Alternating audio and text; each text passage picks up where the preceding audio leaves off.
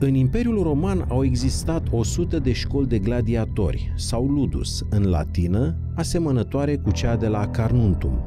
Singura clădire cunoscută, comparabilă cu această descoperire, este Ludus Magnus, escavată parțial și situată în spatele Coloseumului din Roma.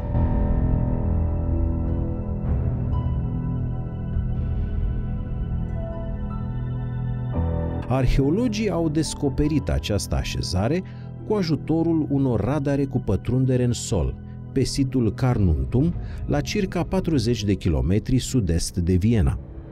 Au stabilit atunci că situl unde se antrenau între 40 și 60 de gladiatori are o vechime de 1700 de ani, ca și cea mai mare parte a ruinelor scoase la lumină.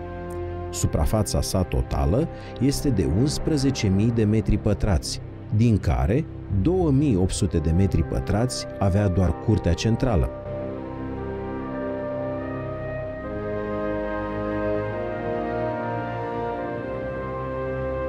Carnuntum, situat pe malul Dunării, era capitala provinciei romane Panonia, din Europa Centrală, constituind în antichitate un punct important pe drumul Chihlimbarului.